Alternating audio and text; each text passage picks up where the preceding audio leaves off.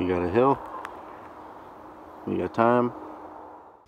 We got work to do. Let's get it.